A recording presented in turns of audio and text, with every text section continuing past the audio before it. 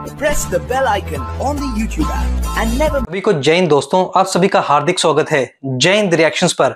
आशा करता हूँ कि आप सभी लोग बहुत अच्छे होंगे। तो आज हम आपके लिए एक लेटेस्ट और एक बहुत ही इंटरेस्टिंग वीडियो लेकर आए जिसमें आप देखेंगे पाकिस्तान की मशहूर पत्रकार आरज़ू काजमी जी को, जिनके स्पेशल गेस्ट होंगे साजिद ताड़ा साहब, जो कि एक ज़बरदस्त जियो एक्सपर्ट है और ये दोनों बात करेंगे हमारे प्यारे देश भारत के बारे में और खासकर भारत में हो रहे चुनाव और प्रधानमंत्री मोदी का जो मुसलमानों के ऊपर बयान आया वो पाकिस्तान में काफ़ी चर्चाओं पे है। तो ये वीडियो काफ़ी इंटरेस्टिंग होगी, आपको बहुत कुछ जानने को मिलेगा और बहुत मज़ा आएगा। तो इसे अंत तक देखें और चैनल पर नए हैं तो चैनल को सब्सक्राइब कर दें ताकि हम आपके लिए लेटेस्ट इंटरेस्टिंग और मज़ेदार वीडियोस लाते रहें। जय हिंद, जय भारत।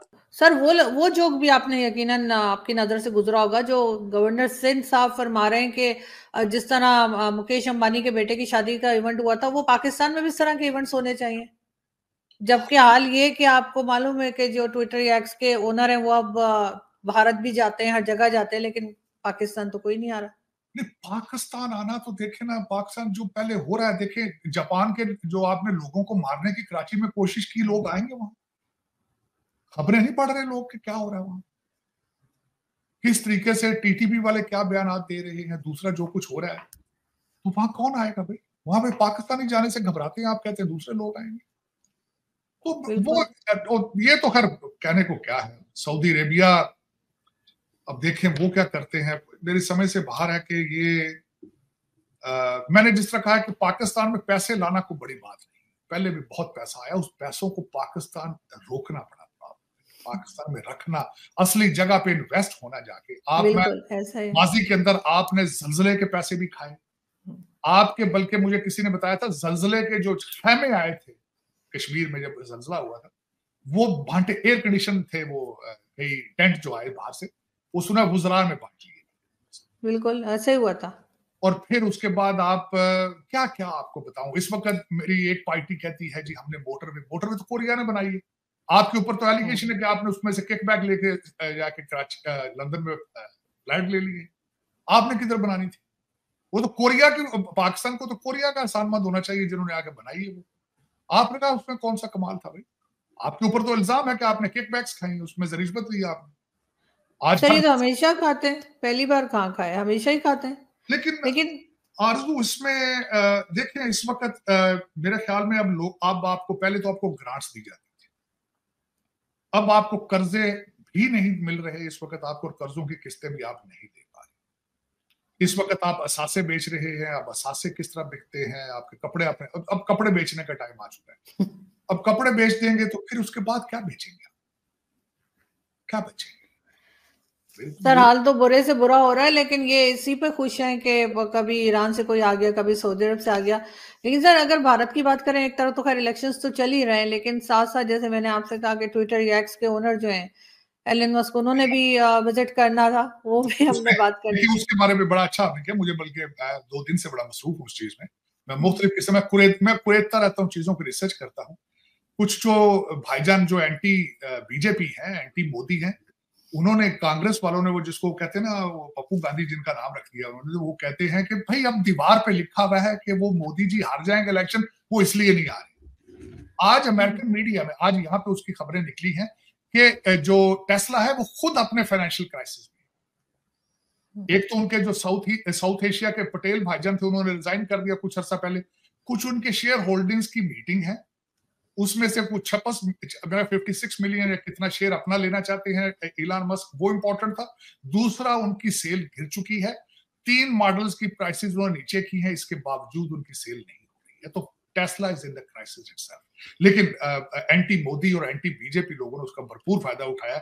उसको रिलेट किया, कहते थे हर दीवार पे लिखा है कि मोदी हार जाएगा, इसलिए इलान मस्क नहीं चले, फिर जिस तरह, जितने मुँह उतनी बातें, फिर उन लोगों ने एंजॉय भी तो करना होता है सर, आज तो हमारे टीवी चैनल्स पे भी मोदी जी के बारे में बड़ा कुछ चल रहा था। हामिद मीर वगैरह सब लगे हुए थे, जो मोदी जी ने कह दिया ना कि वो जो, वो बंगालीज की बात कर रहे थे असल में, और दूसरे जो वहाँ पर भारत में रह रहे हैं, बगैर परमिट के या परमिशन के, उनकी बात उन्होंने कहीं अपनी उसमें कर दी पॉलिटिकल रैली में। तो बस पाकिस्तान वाले शुरू हो गए। देखो, मुसलमानों को कह रहे हैं, हम मुसलमानों को निकालेंगे और मारेंगे, पता नहीं क्या। नहीं, उस पे एंटी जो मोदी लाभी है अल्टीमेटली वो भी अपना काम करते हैं, वो भी सोशल मीडिया पे, हालाँकि इतने ऑर्गेनाइज तो नहीं है, लेकिन वो बिल्कुल उन्होंने भरपूर फ़ायदा उठाया है कि कि बल्कि मैंने कल बीबीसी पे पढ़ रहा था BBC is left wing propaganda एक टीवी चैनल है। उन्होंने कहा जी कि मुसलमानों को थप्पड़ मार के वोट लेते हैं मोदी साहब, और उसके बाद उन्होंने ये भी कहा, किसी ने के उस सिटीजनशिप की चीज़ों को कर रहे हैं। राजनाथ साहब के जी घुस के मारेंगे। फिर मोदी साहब के एक और बयान को अगले दिन वो थे मध्य प्रदेश में के, के पाकिस्तान का नाम लिए बगैर उन्होंने कहा है कि आतंकवाद को जो दहशत गर्दी को प्रमोट करने वाला एक कंट्री है बाटे को तरस रहा है। लेकिन ये सारी चीज़ें फिर इलेक्शन जो हो रहा है वहाँ पे और लेकिन इलेक्शन में उनकी एक क्लीन स्वीप करेंगे वो इसमें कोई शक नहीं है क्योंकि उन्होंने भारत को दुनिया के मैप पर ले आए हैं ग्लोबल पावर बन चुका है भारत इसमें कोई शक नहीं है। और मोदी साहब का मैं हमेशा ये कहता हूँ ठीक है आपकी नफरतें हैं चीज़ें हैं दोनों साइडों से है एक साइड पे नहीं है। लेकिन कोशिश करें कि अगर कोई पॉजिटिव कहीं से चीज़ देखें तो उसकी कॉपी करने की कोशिश करें लर्न करें। मोदी साहब ने जो सबसे बड़ी चीज़ दी है भारत को वो नेशनलिज्म दिया है। आ, और फिर उन्होंने करप्शन मैं ये तो नहीं कहूँगा बिल्कुल कि India corruption free ultimately corruption क्या होती है? अपॉर्चुनिटी मिलती है और उसके ऊपर कमज़ोर ह्यूमन जो होते हैं, उस पर हाथ साफ़ करते हैं अपने। तो वो एक इंसानी जबिलत है। अमेरिका के अंदर भी बहुत है करप्शन इसमें कोई शक नहीं। लेकिन मोदी साहब ने करप्शन को काफ़ी हद तक कंट्रोल किया है, क्योंकि मोदी साहब खुद करप्ट नहीं है। मोदी साहब ने नेशनलिज्म दिया है, वो उनका तोहफा है। दूसरा मैं हमेशा ये कहता हूँ, ज़ाहिर है कि मेजोरिटी दे आर हिंदू और उन्होंने हिंदुओं को प्रमोट करना था, उनके वोट लेने थे, उन्होंने बड़े टेक्निकल तरीके से उसको किया।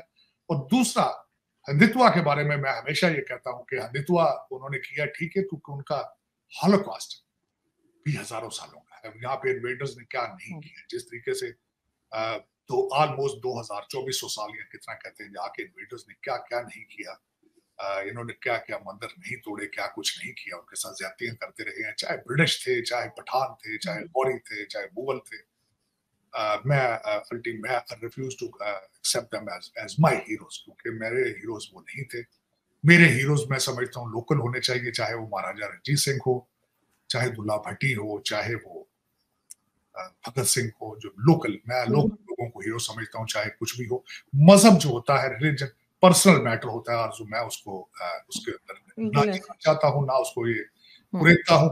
Personalities matter there services for the local land is तो वो मैं this is what my opinion about it लेकिन ये कि फिर अल्टीमेटली हमारा एक गैरजन स्टेट है पाकिस्तान। फिफ्टीज में हमने जब इसको एक डिफेंस और गैरजन स्टेट बनाया तो उसमें ज़रूरी हो चुका था कि हर वक्त लोगों को खौफ की हालत में रखा जाए लोगों को हिस्ट्री ट्विस्ट करके बताई जाए इनको इस्लाम के ऊपर और मज़हब के ऊपर एक कार्ड ऐसा चलाया जाए ताकि फिर उस पर और वही चल रहा है लेकिन ज़्यादा। समझ दुनिया के एक ये कॉन्सेप्ट ही बड़ा गलत कॉन्सेप्ट है। कि my religion is the best religion दूसरे लोग जो है सारे गुनागार हैं काफर हैं। ये आज नहीं तो कल ये सारे दोजख में जाएँगे। ये ये इस तरह की बातें करना। जिस तरह मैं हमेशा ये कहता हूँ आरज़ू कि you have to respect other human you have to religious tolerance is very important religious tolerance दूसरी टॉलरेंस मुराद ये है कि जब तक आ, मैंने आज एक आखिरी बात आरज़ू ये कहूँगा मैंने ये नोट किया है कल परसों में किसी को मैं बात भी कर रहा था। तालीम के साथ एज के साथ या अपने मज़हब के साथ। जो जो आप बड़े होते जाते हैं और अगर आपके अंदर हलीमी हम्बलनेस नहीं आ रही it means it you are not growing बिल्कुल। या और... आपके ऊपर काम नहीं कर रही या मज़हब आपको कुछ नहीं सिखा सिखा रहा। जो जो आप एज में आगे जाते हैं बूढ़े होते हैं हाँ। तालीम ज़्यादा हासिल करते हैं मज़हब की तरफ़ जाते हैं आपके अंदर तालीमी बर्दार हलीमी होनी चाहिए। आप हम हर एक से मोहब्बत करने का अगर जज्बा नहीं है तो something is wrong you better you better fix yourself बिल्कुल ऐसा ही है और यहाँ पे यकीनन ये चीज़ ज़रूर लोगों को अपने अंदर खुद चेक करनी होगी कि वो हर किसी की रिस्पेक्ट भी करें और सबके साथ अच्छे से रहें।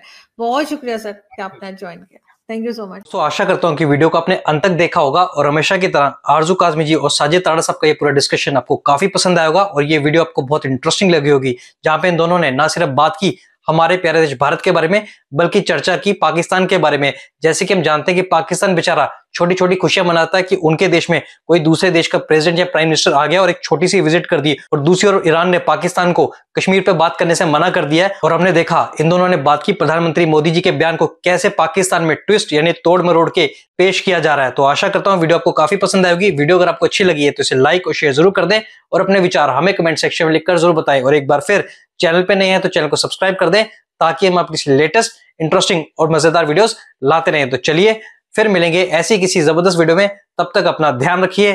जय हिंद, जय भारत।